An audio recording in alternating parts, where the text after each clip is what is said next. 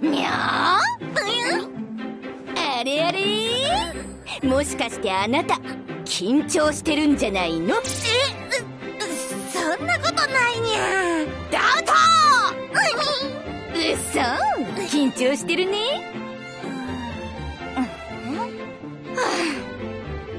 若菜が緊張しいになっちゃったのはお母さんとお父さんのせいだね。メンうちでお母さんとお父さんいつもギクシャクしてて若菜を緊張させてたもんね。だから今日は2人で若菜に謝ろうと思って。謝る？二人で？あれ？どこ行った？んさっきまでその辺に。まさかお父さん来てるの？あいた。え？どこ？どこ？おいタダス！ふらふらしてないで。早くこっち来い！え？え？こっちこっち。お久しぶり。コンタクトにしたよ。私らしく人間らしく。バカな元気に頑張ってたか？そうかそうか。偉いぞ。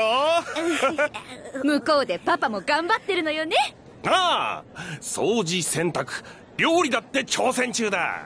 お父さんが料理？ほい。この前なんかマカロニグラタン作ったんだ。真面目で仕事以外何もしなかったお父さんがどうして？それは私のせいかもしれないわね。え昔告白した時に仕事に真面目な正しくんが好きって言ったの。えそれからお父さんずっとずっと仕事一直線で頑張ってくれて。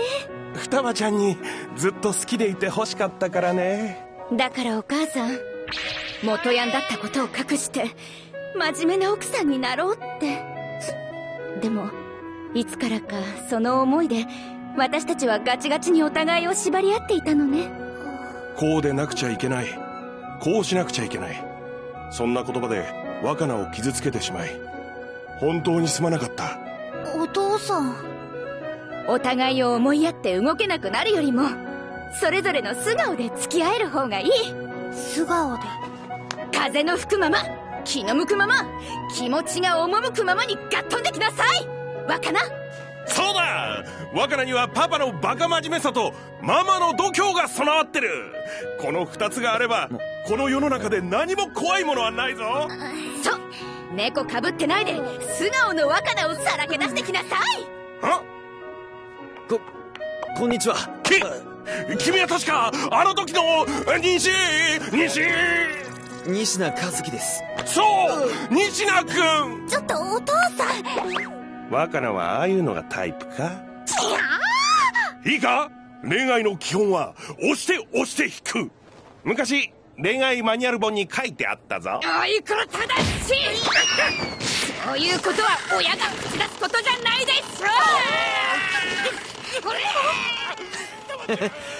ょ 少し時間がかかったけどお前のハート届いたみたいだな。まあね。